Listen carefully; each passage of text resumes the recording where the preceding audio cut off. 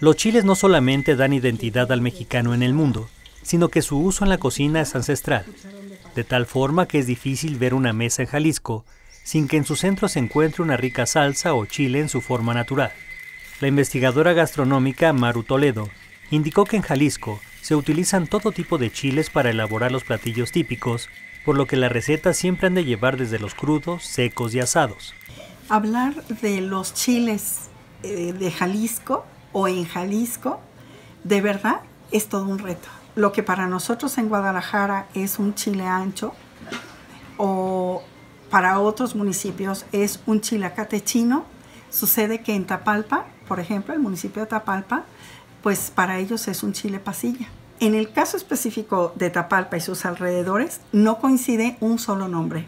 Maru Toledo recientemente presentó su nuevo libro, Pica y Sabe, Lástima que se acabe, dedicado a descifrar las salsas y chiles de mesa de Jalisco, y en particular el chile yagualica, que cuenta con la denominación de origen lograda este año. Estoy doblemente contenta porque en, este libro, en este recetario, pues ya no hago alusión de chile de árbol del de yagualica. Hoy en día puedo decir sencillamente chile yagualica porque este chile tiene ya su nombre específico. Es así como la alimentación del jalisciense se compone de una gran variedad de chiles como el jalapeño, serrano, pimiento morrón, poblano, y entre los secos están el ancho, guajillo, mirasol, colorado, pasilla y de árbol, entre otros.